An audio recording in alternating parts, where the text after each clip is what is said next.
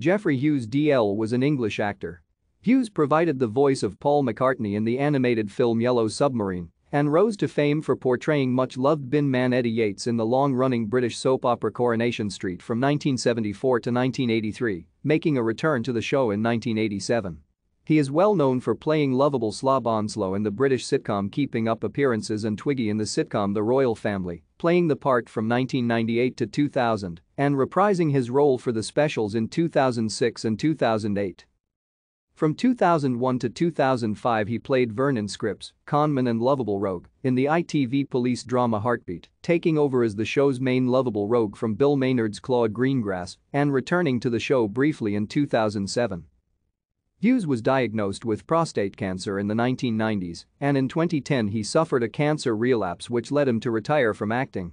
He died from the illness, aged 68, in 2012. Hughes was born in Wallasey, Cheshire, to parents Ada and Bill. Thank you for watching. Like and subscribe if you would like to view more of our videos. Have a nice day.